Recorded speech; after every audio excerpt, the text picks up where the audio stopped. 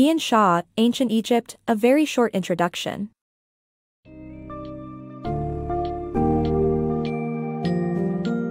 Embark on a journey through the sands of time as we explore the enigmatic world of ancient Egypt in this summary of Ian Shaw's Ancient Egypt, a very short introduction.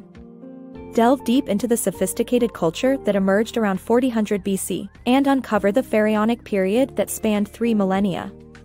With the gift of the Nile, Egypt flourished, leading to a wealth of fascinating artifacts, including the well-preserved tombs, temples, and hieroglyphic inscriptions. This summary will provide you with insights into the pharaohs, religion, and daily life in ancient Egypt, as well as the significant archaeological discoveries that help piece together its history.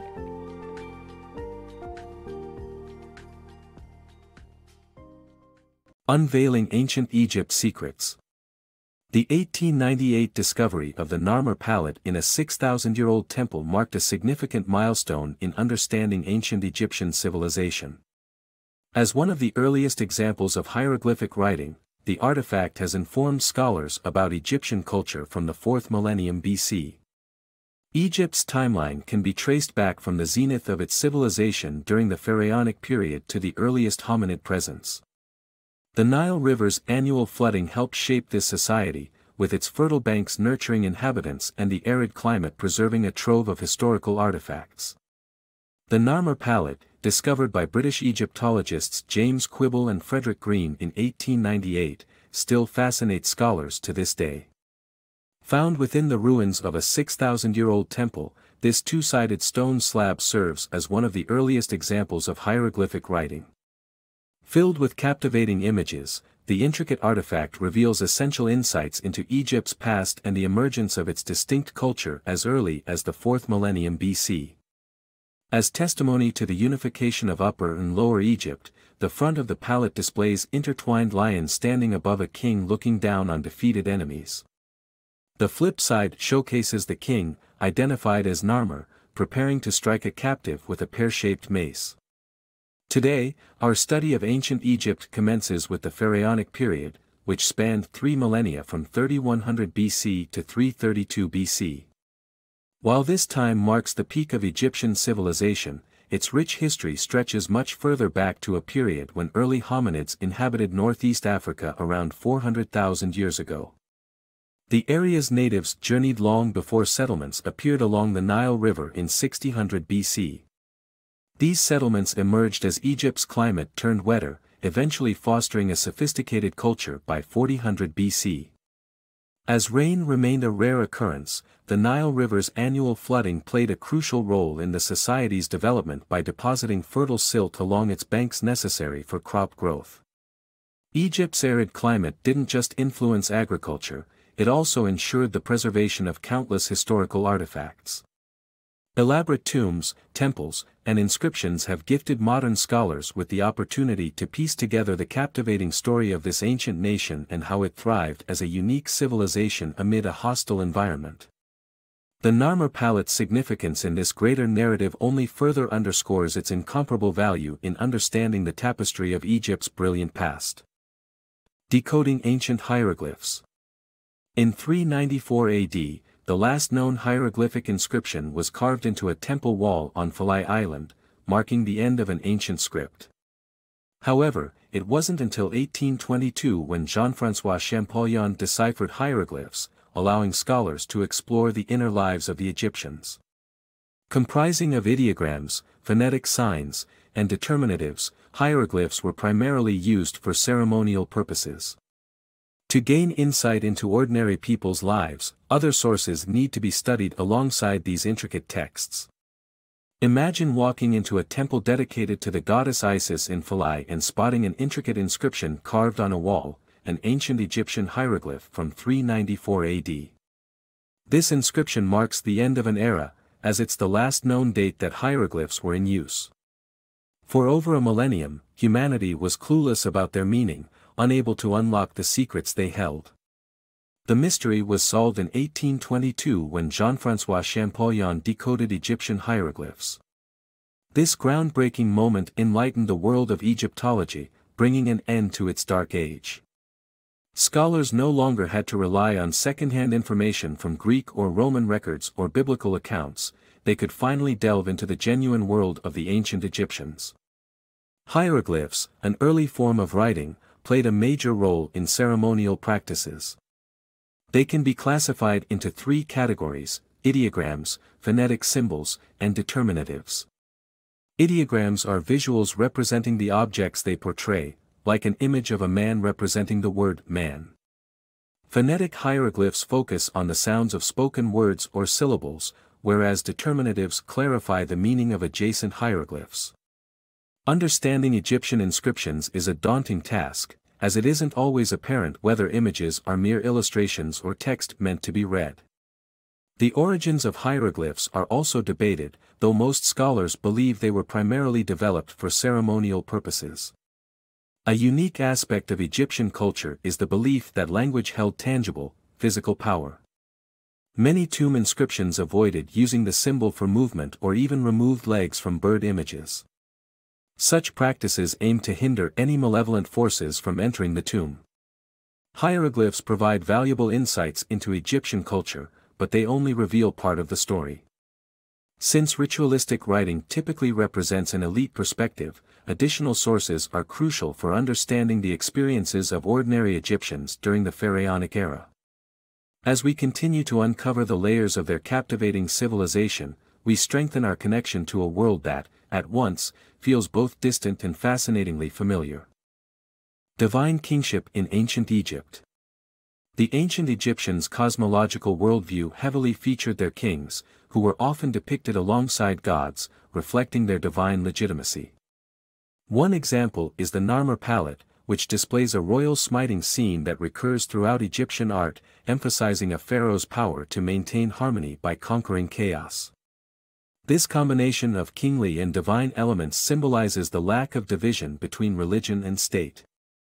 It has been proposed that some Egyptian art might even be considered propaganda, particularly in the case of female pharaoh Hatshepsut, who likely sought to showcase her divine connections through claims of being the offspring of the god Ammonius.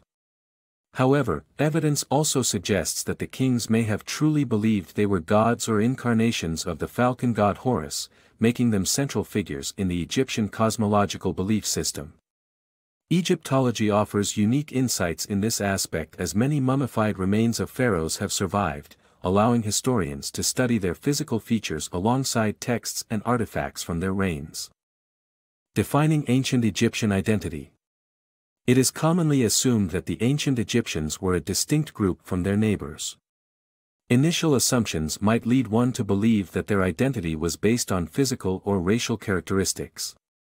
However, studies show that the DNA of Egyptian mummies linked them to both Near Eastern and Sub-Saharan African people, proving the diversity within the population.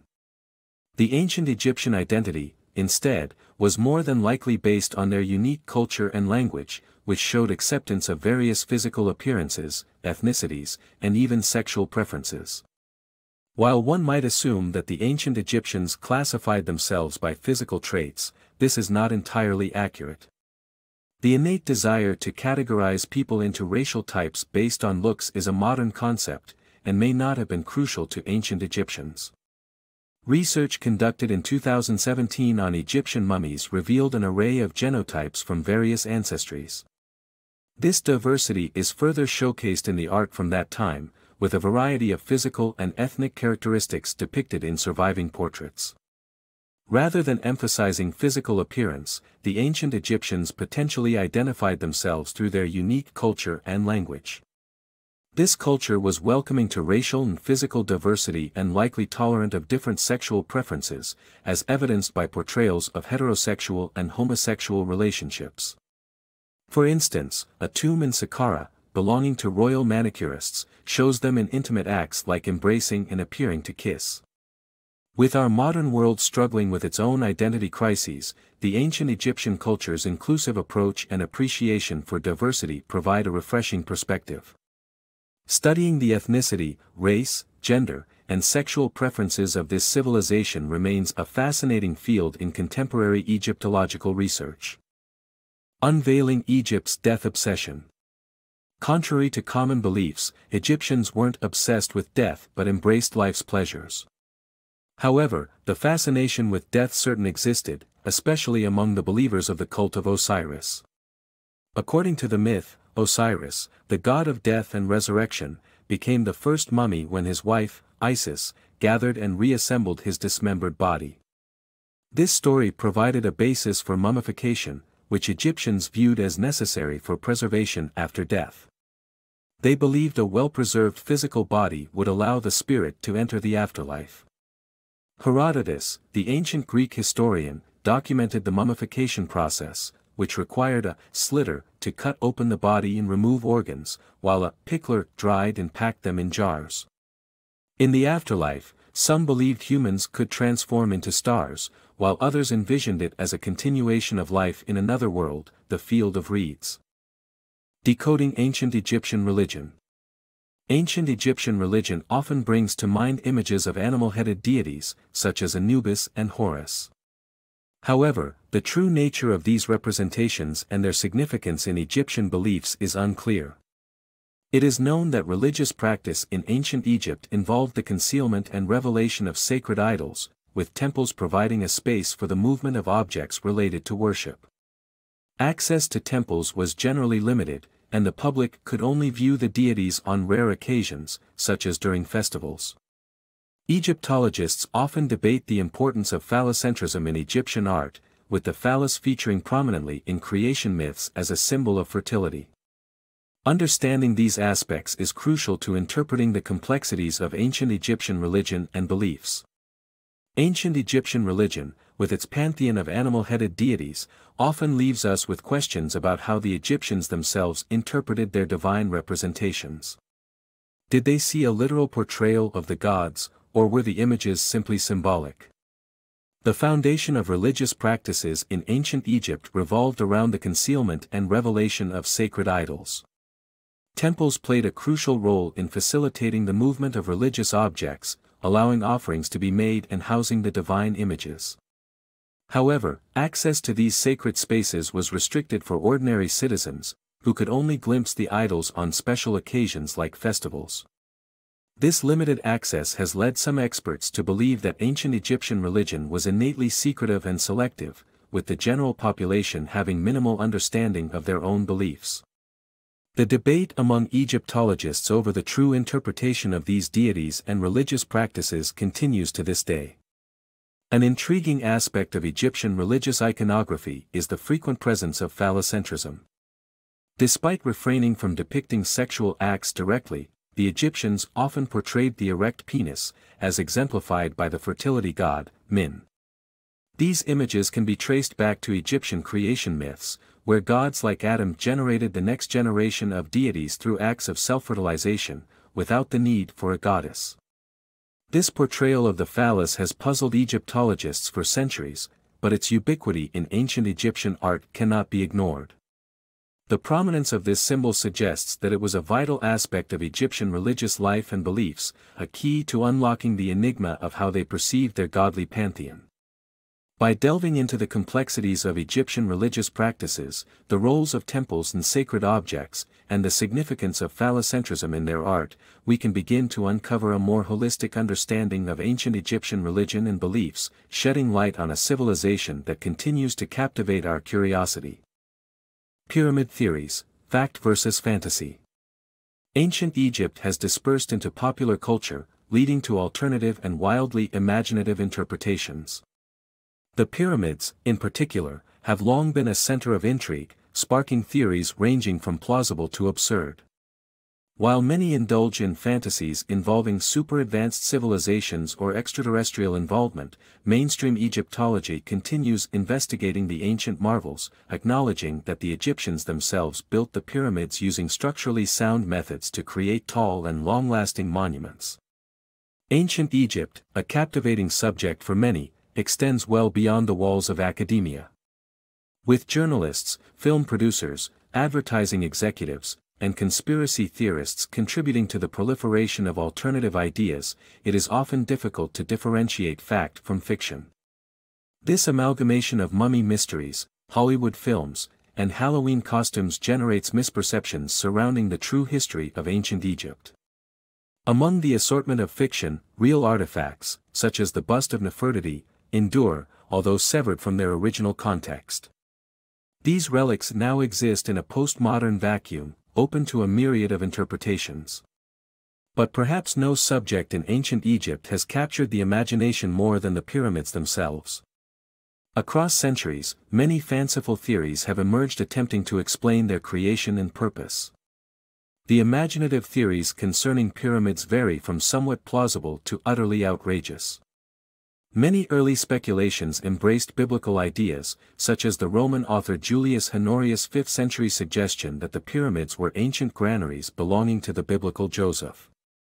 Later, Middle Ages Arab scholars proposed the Egyptians built them to preserve scientific knowledge from the destruction of Noah's flood. In modern times, the theories have claimed the pyramids were constructed by a mysterious, advanced civilization predating the Egyptians. Some even argue for extraterrestrial involvement. However, while fascinating and entertaining, the reality is that these theories are not only incorrect but also perpetuate sinister, racist assumptions that the Egyptians, an African people, couldn't have built such sophisticated monuments. Mainstream Egyptology, however, provides a considerably more straightforward interpretation, the Egyptians. Build the pyramids. The structure's unique shape can be attributed to the stability it offers when creating tall, long-lasting monuments. Nevertheless, some individuals prefer to indulge in the realm of fantasy rather than appreciate the remarkable reality brought to light by established, fact-based Egyptology.